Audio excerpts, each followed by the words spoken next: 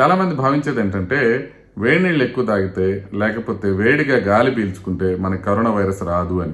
దీంట్లో నిజం ఎంత అనేది చూద్దాం. అసలు దీన్ని ఎందుకు భావిస్తారంటే వేడి నీళ్ళు కానివ్వండి వేడి వేడి వాయువు కానీ పీల్చినప్పుడు ఎస్పెషల్లీ ఆవిరి పెట్టినప్పుడు మనకి గొంతులోను ముక్కులోను లేకపోతే నోట్లోనూ ఉన్న వైరస్ చనిపోతుందేమో అందువలన అది లంగ్కి వెళ్ళకుండా ఉంటుంది డిసీజ్ కాజ్ చేయకుండా ఉంటుంది అని. ఐడియా చాలా బాగుంది కదా. ఎందుకంటే మనం వైరస్ ఏమవుతుందంటే ముందు వచ్చేది నోట్లో ముక్కులోనే ఆ తర్వాత అక్కడి నుంచి లంగ్లోకి వెళుతుంది. కాబట్టి ఈ లోపల కనుక మనం దాన్ని చంపేయగలిగితే అది బాడీలోకి వెళ్ళదు కాబట్టి మనకి కరోనా రాదు అని.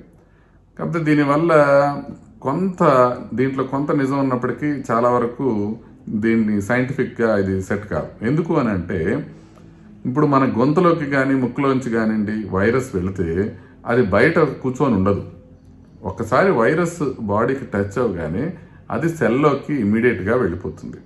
అలా ఒక రోజు కానీ ఒక గంట కానీ కూర్చోదు. అది ఇమీడియట్గా ఒకసారి రాగానే అది బాడీలో ఉన్న సెల్లో ఏసీ టూ అనే రిసెప్టార్కి అటాచ్ అయిపోయి బాడీ కణంలోకి వెళ్ళిపోతుంది. ఒకసారి కణంలోకి వెళ్ళిపోయిన తర్వాత మనం గాలి పీల్చుకున్న వేడి గాలి పీల్చుకున్న వేడి నీళ్ళు తాగినా అన్లెస్ ఆ పైనుండే మన కణజాలం చనిపోతే తప్ప ఆ వైరస్ చనిపోదు.